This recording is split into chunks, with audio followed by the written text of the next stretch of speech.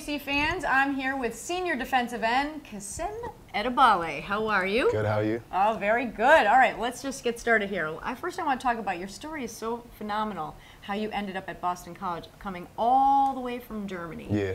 Um, so let's just start about your days growing up in Germany and what was that like there? You know, it's obviously a little bit different. It's a different country, but everybody loves soccer, so everybody loves doing sports. And then I saw football, and I just like competing. And I didn't really want to compete in soccer. I saw football, and I always liked it from day one. So you say football, however, football in Germany is soccer. Yeah, yeah. so was there a lot of American football in Germany?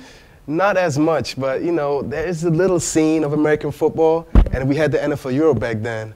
And um, as a little kid, you know, there's 30,000 people in the stadium watching football, which was unheard of at that time. And I just loved it, and I had to do it. How how um how did you get interested just by watching on TV? And um, you had to, was it hard to kind of try to find a team there?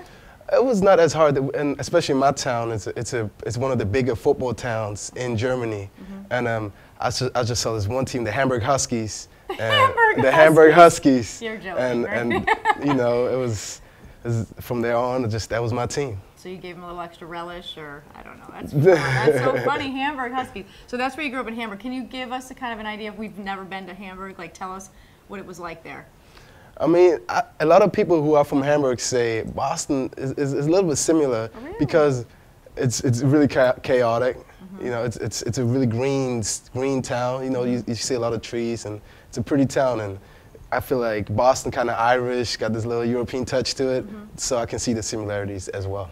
So you got your communications um, major. What do you plan on doing with that? I mean, you know, obviously you're going to try to make it to the NFL and um, next season, and probably have a pretty good shot at that. But what would be your plan B?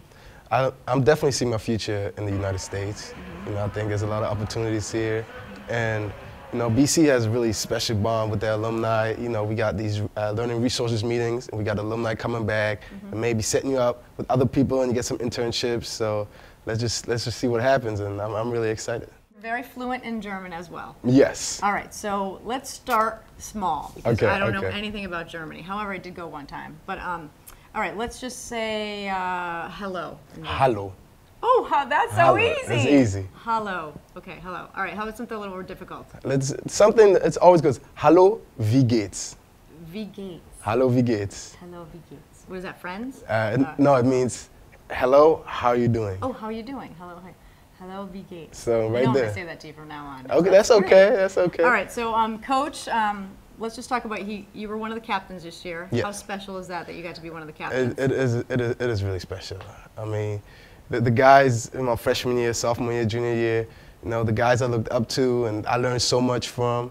And then, you know, the team elected me to be captain. That meant a lot. So I really give everything I have to teach them what I learned and just try to get the team going every day.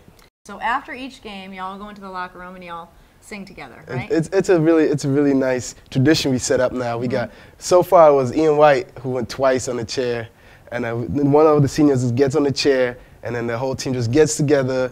We create a lot of energy, sing the fight song, and it's just about coming together and just do uh, one thing together as one. And I think it, it's really special and it, it's a lot of fun. Have you not got up in the chair yet?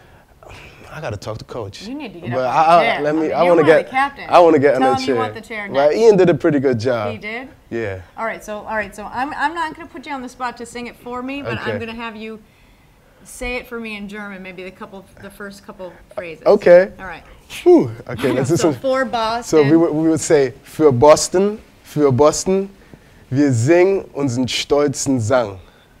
und unser, unser stolzes Lied. Wir singen unser stolzes Lied. Für Boston, für Boston, bis es nicht mehr weitergeht. so, you know, it's kind of tricky. Is that you could be completely wrong, and I have no idea.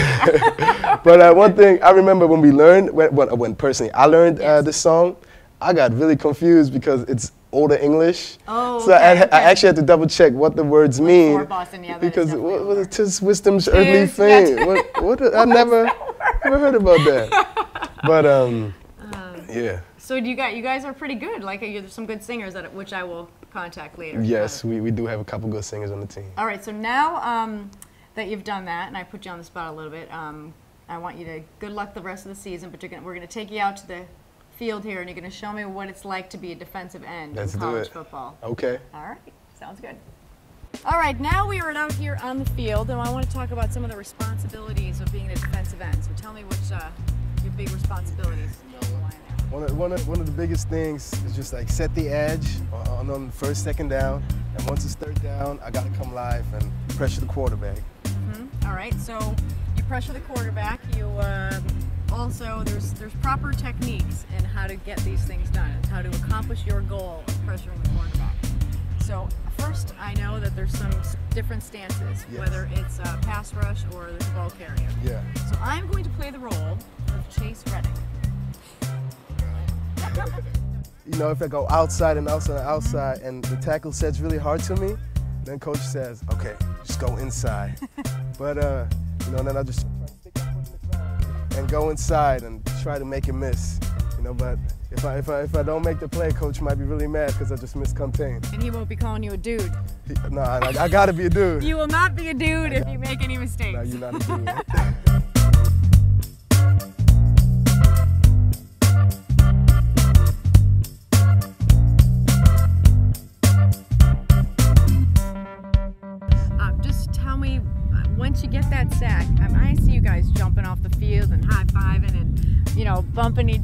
Like, just uh, what is, what's going through your mind at that time? I mean, I know it obviously ends the play for them, and It's, it's, it's just a great feeling, especially playing alumni. You get the sack, and there's so much energy around you. And we, we got the super fans going crazy. We got the sideline jumping.